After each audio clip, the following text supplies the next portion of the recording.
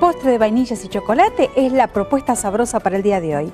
Aquí tengo vainillas y en este recipiente el ah, licor, licor que puede ser coñac o porto, lo que ustedes tengan, y el almíbar de los duraznos. Voy a pasar así por ellas y voy colocando aquí en la base de este molde alargado que previamente le he colocado film transparente.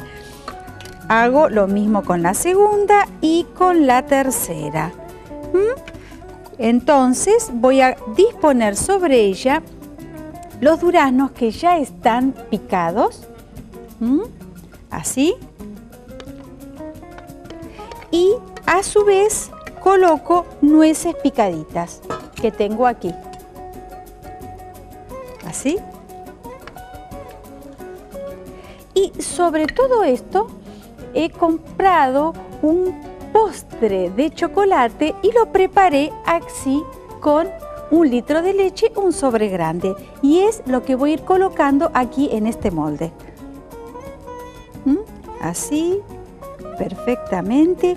Y lo dejo enfriar por espacio de una a dos horas hasta que se enfríe y se solidifique en la heladera. ¿Mm? Así lo vamos a mejorar y lo dejamos en la heladera. Y obtengo este resultado. Fíjense cómo queda.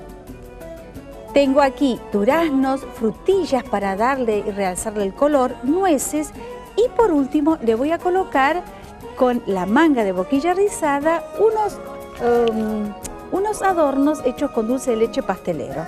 ¿Mm? Así. Y este es el plato que hoy he preparado para ustedes con mucho sabor.